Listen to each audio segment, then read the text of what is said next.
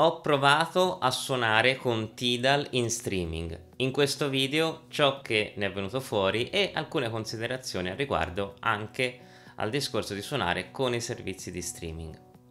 Ma prima iscriviti al canale e clicca sulla campanellina per rimanere sempre aggiornato.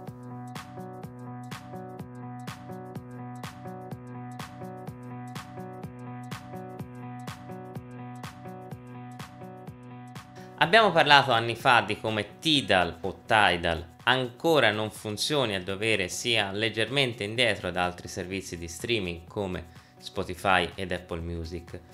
A distanza di anni qualcosa è cambiato, qualcosa è stato migliorato, qualcosa invece è rimasto esattamente com'era. Però c'è un motivo importante per cui c'è assolutamente bisogno di un video di aggiornamento e riguarda il discorso del eh, l'utilizzare servizi di streaming nei software per DJ o nelle console che li supportano.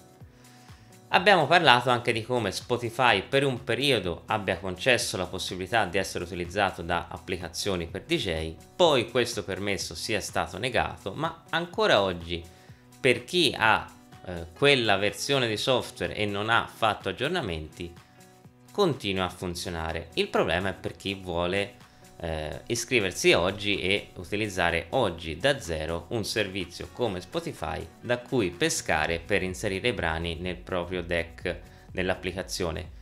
Ecco che in questo senso si inserisce Tidal già da un po' di tempo a questa parte. La prima collaborazione di Tidal importante è stata con Denon, eh, inserendo la possibilità nel software proprietario Prime di pescare dal catalogo di Tidal se c'è un abbonamento. Quindi a partire dalla Denon Prime 4 e anche nei lettori successivi si può collegare se è presente una connessione e eh, al proprio profilo su Tidal e caricare i brani dallo streaming. Di lì in poi Tidal o Tidal, non so bene come si pronuncia, comunque dirò Tidal, ha stretto delle partnership importanti con tutti i principali software house per DJ. Ecco che eh, in particolare eh, Tidal è supportato su Record Box e anche su Serato, Tractor, eccetera.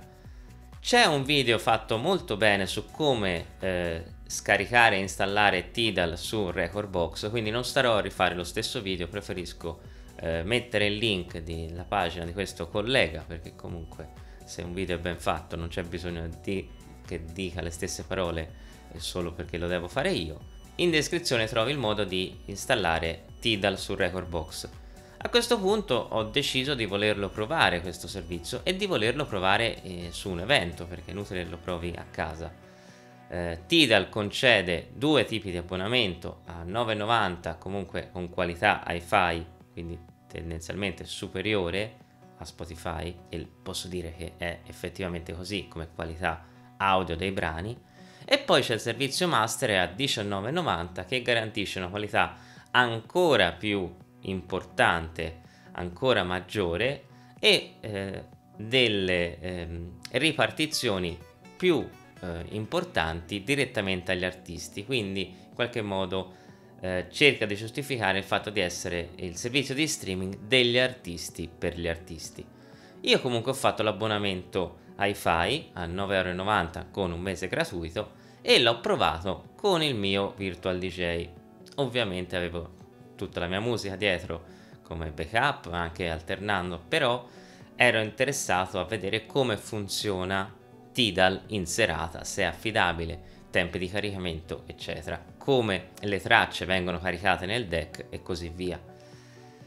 Un'altra particolarità è che come faccio a trasferire la mia playlist se ho sempre usato Spotify su Tidal?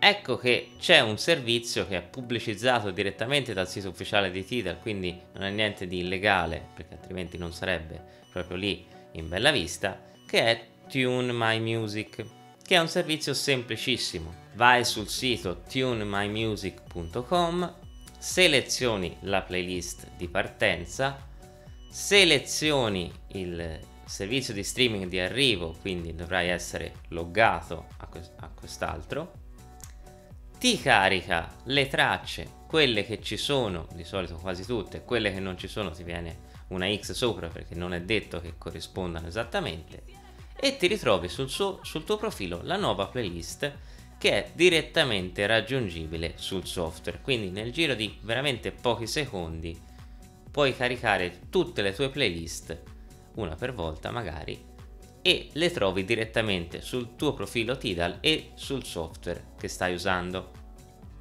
Beh, devo dire che il test è stato superato brillantemente. Non ho mai avuto nessun tipo di problema. Le tracce suonano bene. Bisogna, l'unica attenzione che bisogna fare è che il caricamento sia completo, quindi il caricamento sul deck e poi il caricamento della traccia. Ci sono due volte la, la forma d'onda che, che scorre, e, ma con una connessione semplicissima. Io ho un telefono che non prende quasi mai, quindi è stato anche un, dire, un test attendibile per quello perché non c'è bisogno di avere una super linea, un super wifi, eccetera. Con una linea normalissima, te in pochi secondi cerchi la traccia, te la trova, la metti sul deck, l'ascolti, la suoni, aumenti velocità, cambi tonalità, fai gli effetti, tutto. E sinceramente funziona e funziona proprio bene. Ma io non mi trovo bene a suonare on- online, non me la sento. Niente ti vieta di avere la tua musica più il software con la musica online. Quindi, così come puoi caricare le tracce dal computer sui deck e anche da, dallo streaming, allo stesso modo puoi avere i, i tuoi lettori dove carichi la musica su chiavetta o eh, lo colleghi al computer di volta a volta. È una cosa molto rapida, molto funzionale.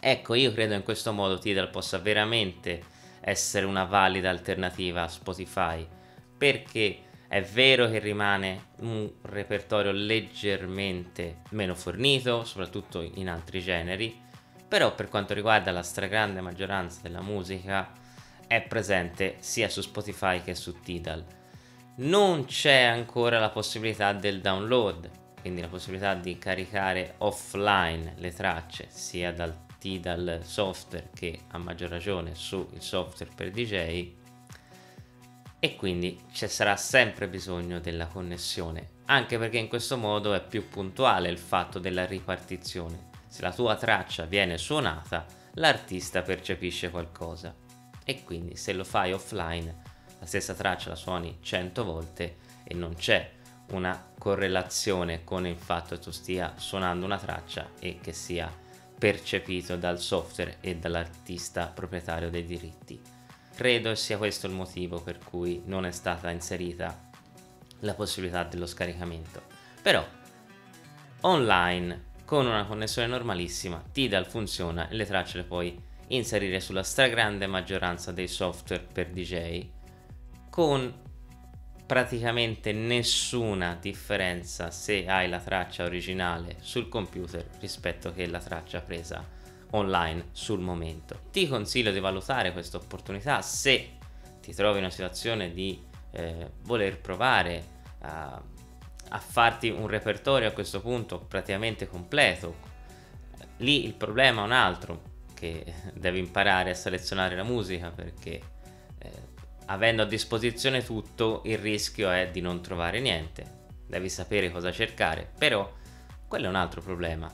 Il software ti consente di utilizzare tutta la musica possibile, in tantissime versioni, e di suonarla anche senza averla mai sentita sul momento. E secondo me potrebbe dare una nuova forza, una nuova vitalità ad un servizio di streaming che ancora non ha trovato la sua collocazione, eh, come dire, in una lotta sulla, a livello mondiale con i grandi player. Fammi sapere cosa ne pensi nei commenti e continua a seguirmi qui su Essere DJ Oggi.